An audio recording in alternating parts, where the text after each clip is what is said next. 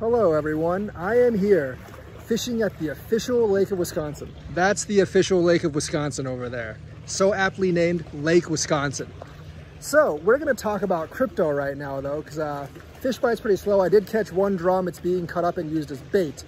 But anyways, there's mass crypto adoption in the United States. It's in the state of Texas, in the city of Houston, because we know that the governor is pro-crypto.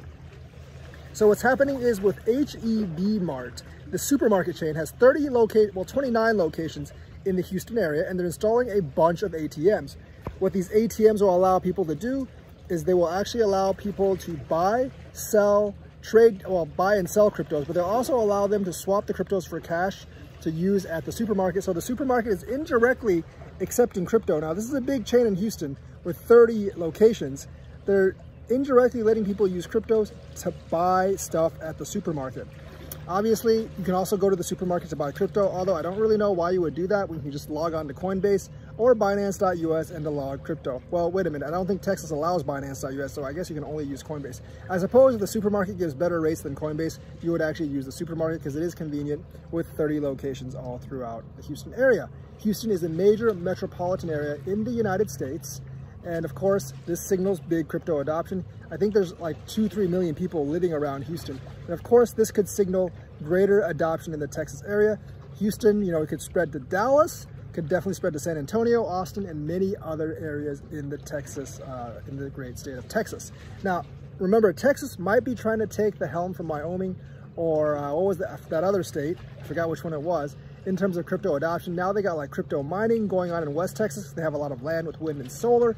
Now they're getting crypto adoption in the major cities. I mean, heck, now that they can use it at the, the supermarket, maybe eventually Texas will try to make it legal tender, get sued by the United States, and maybe they will actually win because then it'd be like the federal government suing a state. Not really sure how that would actually work, but Texas is definitely um, taking the lead in crypto adoption, uh, making it available at the supermarket. Obviously, this particular uh, news has no uh, effect whatsoever on the price, but however, you can just see that crypto adoption is going more and more mainstream and prices will go up sooner or later. Obviously, right now you have a lot of manipulation by the whales to keep prices down, but realistically, I don't think that's going to be such a big deal and it's definitely short term. This drop um, hasn't really been as hard as the other drops, and if it, we don't go down further this weekend, and it looks like there's resistance around 35,000, for, uh, from it keep on going down further, um, I do think we will actually start to recover next week.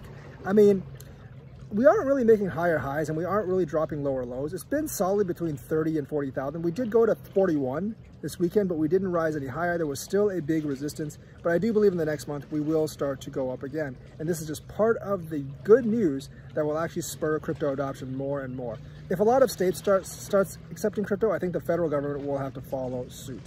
And plus, like, you know, the thing is, like, we're working our way into politics on both the Democratic and the Republican side. The, uh, like the political funding, if they get a lot of donations in crypto from crypto donors, they're definitely going to change their mind. So that is the news for today. Let me know what you think, like and subscribe, and hit that bell notifications button. Thank you and have a nice day.